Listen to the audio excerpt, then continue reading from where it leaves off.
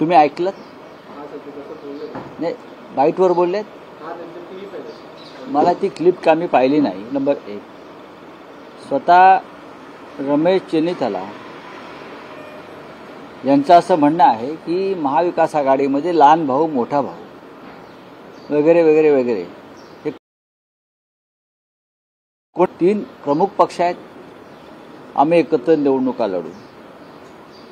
आणि कोणाला अशी खुमखुमी असेल लहान भाऊ मोठा भाऊ मधला भाऊ धाकटा भाऊ. तर मग महाराष्ट्रामध्ये काय चित्र आहे हे भविष्यात कळेल. पण मला असं वाटतं की काँग्रेस पक्षाचे वरिष्ठ नेते जे आहेत त्यांच्या भूमिका स्पष्ट आहेत या संदर्भात. काँग्रेस पक्षाला लोकसभेत तीन एक जागा जास्त मिळालेल्या आहेत. त्याच्यामुळे कोणाला जर वाटत असेल की आम्ही मोठे भाऊ आहोत किंवा आम्ही अजून काही आहोत आम्ही उंच भाऊ आहोत पण त्यांनी लक्षात घेतलं पाहिजे त्यांच्या जागा वाढण्यात शिवसेनेचं योगदान किती आहे हे त्यांनी अभ्यास केला पाहिजे. कोल्हापूरची आमची जिंकलेली जागा आम्ही त्यांना दिली. रामटेकची जिंकलेली जागा आम्ही दिली. अमरावती हा आमचा बालेकिल्ला त्यांना दिला. या तीन जागा ज्या आहेत या शिवसेनेमुळेच त्यांच्या वाढल्या. हे जर ते विसरले असतील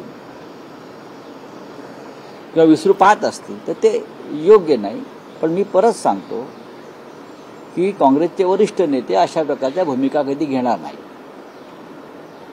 लोकसभा निवडणुकीच्या विजयानंतर काँग्रेसचा आत्मविश्वास सगळ्यांचाच वाढलेला आहे. काँग्रेसचा कशाला वाढायला पाहिजे? आत्मविश्वास महाविकास आघाडीचाच वाढलेला आहे ना. तो लोकसभेचा आत्मविश्वास होता. विधानसभेचा आत्मविश्वासासाठी परत आपल्याला काम करावं लागेल. आणि त्यासाठी तिन्ही पक्षांनी एकत्र राहावं लागेल. आत्मविश्वास वाढला म्हणून काय ते एकटे लढणार नाहीत ना. तीन पक्ष एकत्र आल्याशिवाय आत्मविश्वास कसा वाढेल? महाविकास आघाडी घट्ट झाल्याशिवाय आत्मविश्वास कसा वाढेल? जर असा वाढला असं कोणाला वाटत असेल तर त्यांचा आत्मविश्वास कोणाचा आहे काय आहे कसा आहे तो अभ्यासाचा विषय ठरेल.